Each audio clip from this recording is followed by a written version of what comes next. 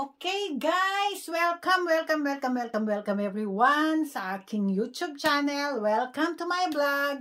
Welcome to my class, Basic Korean Language sa Filipino at English. Okay, so Uh, once again, good afternoon muna sa inyong lahat. Good morning, good afternoon, good evening, kung anong oras kayong nanonood.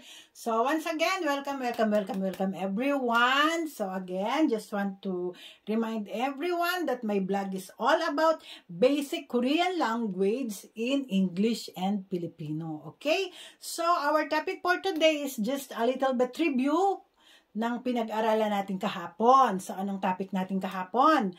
Our topic yesterday is about paano sasabihin, paano may introduce ang name mo sa salita ng Korean. So, yung pinaka-formal with honorific or with high respect na ginagamit natin sa matatanda at sa mga superior natin, Che irumun kimdig na imnida.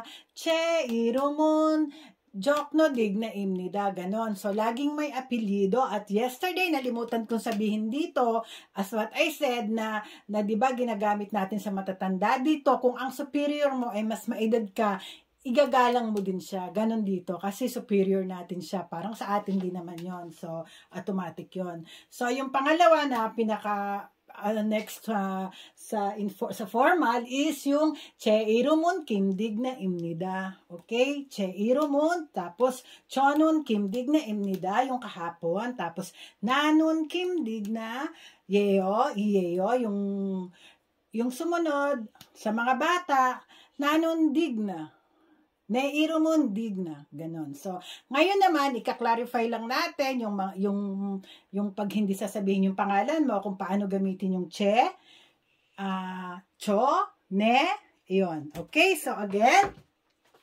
So, yung che, yung kahapon, che irumon. So, ang ibig sabihin nun ni Mai, kung, kung gagamitin mo sa, sasabihin mo ang name mo, kung may sasabihin ka about you, che ang gagamitin mo. Ito naman, ang basa dito is cheko, cheko. Che, di ba? Ako din yon Yung ko, parang sa akin. Check ko, mine. Mine, ang ibig sabihin din yun. Pare-pareho lang din halos hindi nagkakaiba yung meaning. May counting difference lang sa paggamit. At saka sa, yung word niya nga mismo, iba dito. So, yung ne, yung ne naman, yung, yung informal ng che. Yung ginagamit mo sa kaedad mo at sa mga um, sa, ah, sa mga kaedad mo to, okay? Sa kaedad mo, ito ginagamit. So, yung ne is also my. So, che is my, cheko is mine, ne is mine, neko is mine. Yung neko, informal na to. So, isulat natin. Yung pagkakaiba lang niya, ito is formal. Okay? So, ang informal nito is ito. Informal. Okay? Okay. So, again, ito yung, ito naman, di ba, yung second ng formal sa second to this one. Ito naman yung informal. Okay? Informal. Okay? Di ba, dalawang, dalawa yung formal, yung, yung che at saka cho. Che at cho, tapos ne at na, yun yung informal. So, again, che irumon or che Ganon, parang ganon. Chechib noon, sasabihin mo may. Okay? So, pag, pag nilagyan naman ng cheko, cheko. Cheko is mine. Okay? Akin, neko. So, sa, ito yung formal. Gagamitin natin again sa matatanda, sa mga superior, sa mga parents natin, sa mga lolo't lola natin. So again, uh, ulitin ko lang, dito kasi, kung halimbawa ang superior mo, mas bata sa'yo, need mo pa rin to need mo pa rin to kasi may position siya eh as what I said superior ba so dito merong mga cases na ganoon kagaya ng asawa ko ang boss ng asawa ko ay parang kasing tanda lang niya or matanda lang ng konti, parang 2 years lang ang difference nila yung, yung boss niya. Kaya parang kaibigan niya lang din sa trabaho. Pero it is a must na pag kausap mo siya, kahit pabiroan kayo, ay magyoyo mag ka or gagamit ka ng imnida kasi superior mo siya. Okay? So, yun yung pala yung, yung exemption to the rule. Hindi ko na banggit kahapon. Basta ang superior mo, kahit mas ba- bata sa'yo, need mo pa rin ito. Huwag niyong kalimutan yan, ha? So, again, ang Che is mine. Okay, my, my name is Che Irumon. Checo is mine. Okay, so ito yung formal way sa mga matatanda. Again, ito namang ne is my at ang neko is mine. So, pareho lang sila ng meaning. So, ito nga lang, formal, informal. Ito ay gagamitin mo sa matan, ma, maliban dito sa mga to, ba? Ito sa period sa mga parents natin, mga lola, ganun. Ito naman yung mas nakakatanda sa atin ng kaunti, hindi natin kakilala, bagong kakilala, hindi natin ka-close. O, ayan. Yan yung informal. Okay? So, ito naman, chonun, um, chonun is formal. Okay? Cho is me, na is, pareho silang cho, okay? Ang ibig sabihin niya is I, yung formal, second to this one is formal. So, Cho is me. Cho nun ay cho, ako. Tapos na, ako din ang ibig sabihin yon me. Yung nanon is I. So, ulutin ko lang.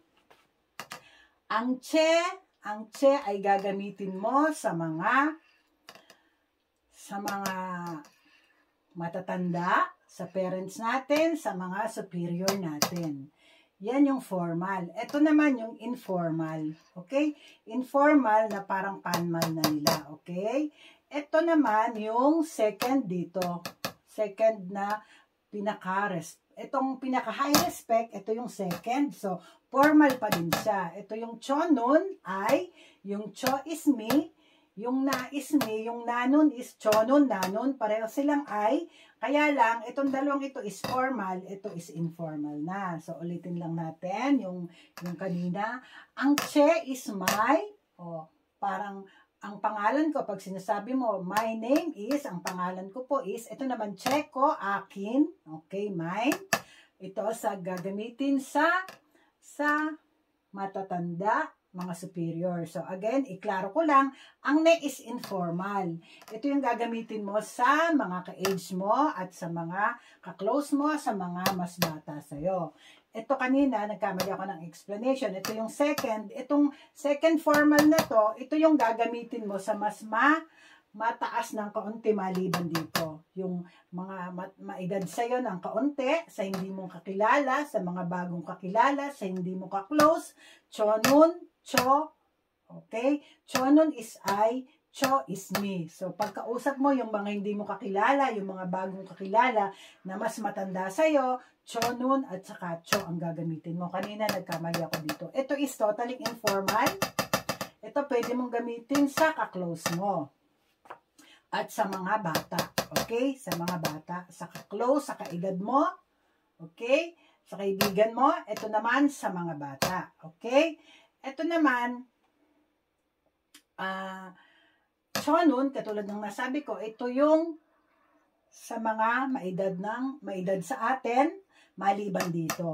Okay. Ito namang na, totaling informal sa mga kaedad mo, sa mga kaibigan mo, sa mga kaklose mo, at sa mga bata. Itong, itong chonon is I, nanon is I, yung cho is me, yung na is me. Okay. So, yung chonon is formal, yung cho is formal, I is formal, me formal, yung na is informal, yung pandemal ay panmal na tinatawag. Ito chondemal, yung with high respect at saka formal, kung tawagin natin is formal and yung honorific nila na tinatawag with high respect. Formal naman, ito naman is informal, yung formal nito is this, in, in, ito yung formal, ito yung informal niya. Ito yung formal, ito yung informal niya. Okay, so, chonon is I, parang hindi naman sila nagkakalayo ng meaning, kaunting-kaunting difference lang.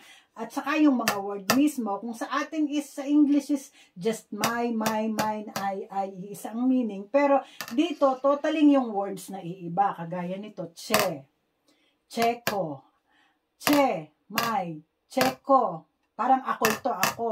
Cheko, akin. Ne, my. Okay? Neko is mine. Akin din yung ibig sabihin nila. Cheko, neko. Yun nga lang, formal at informal. Ito naman is chonun is I. Nanon is also I. Dito is my and my. Dito is I and I. Tapos, yung pinagkaiba lang nitong dalawa na to, ito, pa, pareho silang formal, pero mas ang gamit nito sa mga matatanda talaga at sa superior. Unlike this, Katulad ng nasabi ko, yung mas maedad ng kaunti sa atin, hindi natin kakilala, hindi natin ka-close, na parang strangers ang dating sa atin na need nila ng respect kahit strangers sila. Okay? So, importante yun sa ating lahat. So, yung informal naman itong cho nun, na nun. Yung informal naman ng cho, is na. Okay? So, yan, yan madali lang tandaan. Che, che, irumon, igo, pag sinabing kanina to, check ko yo check ko yo. Kahit hindi mo lagyan ng yo, yung check ko, ano na yon with respect na yon Pero, pag magsalita ka, pwede ring lagyan ng check ko yo. Ganun, understood yun. Mas magalang pa talaga. So, ito naman, ne, may, okay?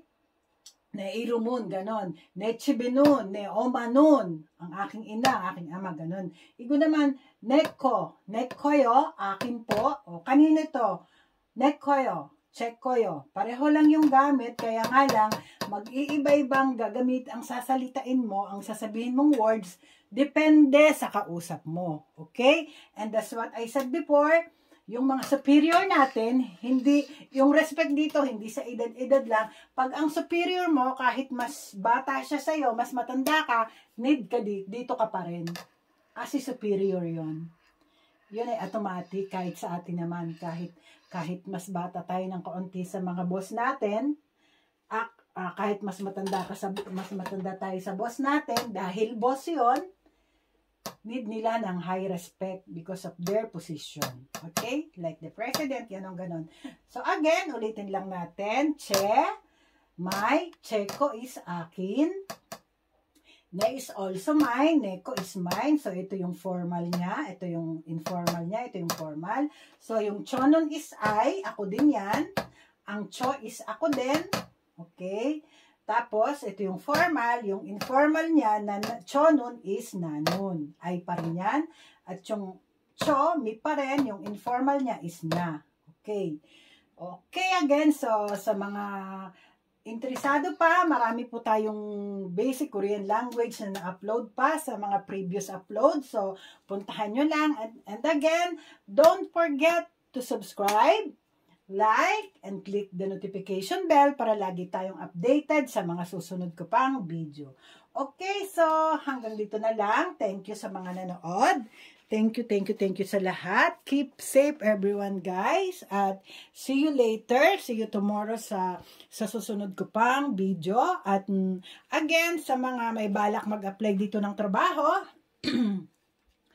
as what I said, ang lagi kong nire-remind, need nila dito ng, bago kayo makapag-apply, kahit anong klaseng trabaho, kung white collar job man yan o sa sa factory ka man, need mong maipasa yung basic Korean language para para matanggap ka sa pag-apply, pwedeng sa POEA, yung EPS na tinatawag. Tapos pwede rin naman sa agency, pero mas malaki po ang bayad sa agency unlike sa APS na ang babayaran mo lang doon, yung gagastusin mong ticket, Saka yung mga, basta yung mga pag-aaral mo, yun ang babayaran mo. Unlike sa agency, meron sila diyang babayarang fee pag umalis ka. So, dito sa, sa bukod pa yung ano, bukod pa yung plane ticket mo, yung visa. So, so sa ano naman, sa POEA, kung EPS ka, kung gusto mong mag-apply sa POA, through POEA, ang babayaran mo lang doon is yung ticket mo, visa, at yung plane, ayun na nga, plane ticket, visa, at saka yung ibang pag-aaral mo kasi hindi yan free. Kaya nga, hinikayat ko kayong lahat, uh, pwede kayong mag-review dito for free. Unlike sa, sa Pilipinas, na pag pumasok ka dyan, ang alam ko pinakamababa na yata ang 5,000 or 3,000, hindi ko sure. So ngayon, kung hindi mo ka, kung hindi ka na kapasa sa first try mo, uulit ka na naman at another bayad. So kung may bala ka talagang mag-apply ngayon kasi may vaccine na, once na nagkaroon na ng na vaccine ang lahat, pwede nang tumanggap uli dito ng factory factory workers. And katulad nga ng nasabi ko, may balak din akong uh, susunod ko din dito ang review ng topic or ang ang Korean test, uh, Korean citizen exam kasi kahit worker ka lang dito at gusto mong mag-take ng Korean citizen, allow din at once na nakapasa ka, forever ka nang maka-work dito. Pwede ka nang magpabalik-balik sa Pinas dahil citizen ka na or kung ayaw mo naman ng citizen is yung per- permanent residence. Ang permanent residence kasi dito is pareho lang din ng exam. So again, sa mga nanonood, comment lang kayo at mag ma, kung ano pa yung gusto nyong matutunan. So i, i kung ano yung mas maraming comment, mas maraming suggestion, yun po ang ituturo ko. So at ang gagamitin natin kung talagang hirap tayo or sa iba English Tagalog pa rin pero hindi mawawala ang Tagalog. So again, again, thank you, thank you very much sa mga nanood at sa mga manonood pa. Again, good morning, good afternoon, good evening. And once again, don't forget to subscribe, like, and click the notification bell for more videos. And of course, keep sharing pa din po. Okay, so thank you very much. See you sa next video ko pa. Thank you, thank you, thank you. Bye guys!